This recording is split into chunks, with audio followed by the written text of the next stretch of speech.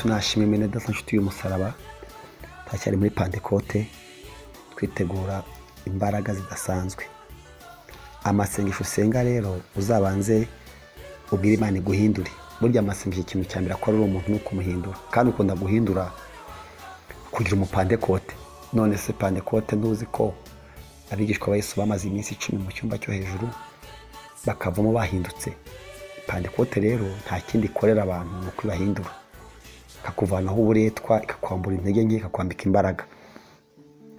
Nahoze nsoma mu bice bitandatu muri esaya eh, umurongo waho wa gatanu haravuga ngo maze ndavuga nti ni ishyano ndapfuye uwe kuko ndi umunyaminwa yanduye kandi ntuye hagati y'ubwoko bufite iminwa yanduye kandi amaso yanjye abonye imana uwiteka nyiringabo.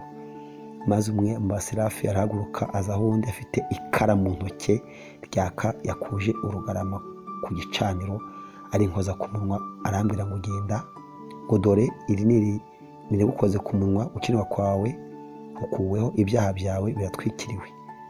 Numva ijwi rimbwira ry'imana ngo ndatuma nde ninde watugendera?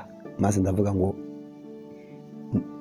nije aba ari njye utuma uyu nguyu ni umuhanuzi ukomeye wahanuye kuvuka kwa yesu ahanura imibabaro ye ahanura igihe azagarukira umuhanuzi udasanzwe yavuze uko yesu azasa uko azaba ameze imirimo azakora avuga imibabaro ye n'umuzuko we avuga iby'ingoma y'imyaka igihumbi ariko imana irarira iravuga ati ikintu abura ni pandekote pandekote ni umuriro rero iramanuka rero iramwiyereka ni byo twabonye ku munsi watambutse ko iyo imana ishaka kugutuma kugukoresha ibanza kukwiyereka kandi imana ikwiyereka ifite umuriro.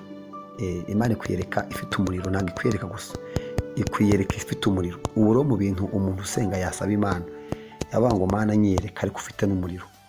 Uyu nawe yesaya rero yeretswe imana abona ubwiza bwayo. Ariko abonye imana ahita amenya n'intege nke ze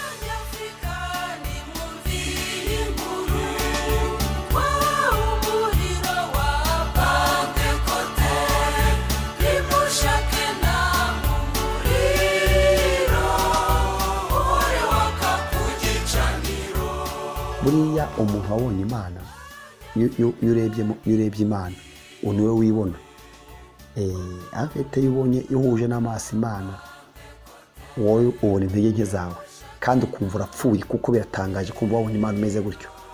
Ariko imana yamubwiye ati ukibura ni pandekote ngo ngo marayika w'imana yazanye ngo umuriro awukoza ku minwa. Kuko Isaya yari avuze ati mba mu banyaminwa banduye nanjye nikomeze. Bikoza ngo ikara ku munwa we ngo arahumanuka irabaza ngo ndatuma ndi? Ni ya magambo atatu twabonye rero. Imana irakwiyereka yamara kukwereka ikakweza yamara kukweza ikagutuma. Eh, ubu rero niba uri umwe mu b'imana iteganya gutuma ni bitatu. Ikwiyereke ikwejeshe ikweze icana umuriro igutume.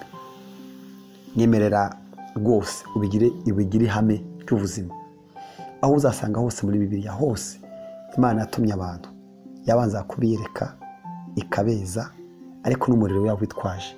Umuriro wa pandekote rero ureza. Umwuka wera azirana n'ibyaha. Buriya dukeneye umwuka wera. Niyo kintu kinakomeye yesaya yari umunyempano. Yari umunyempano hari igihe abanyempano bagira ngo kuba umunyempano kugira umumarayika. Yari umunyempano ariko akeneye kwezwa. Dukeneye kwezwa rero.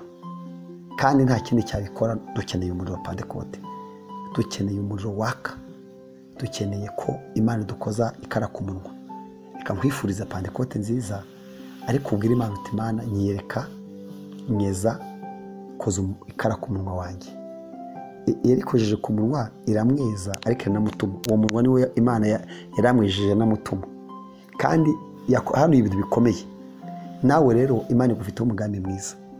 Pandekote reka ikubere imbarutso y'ububyutse ahandi imana ikwereke ikweze igutume. Imana iguhe umugisha.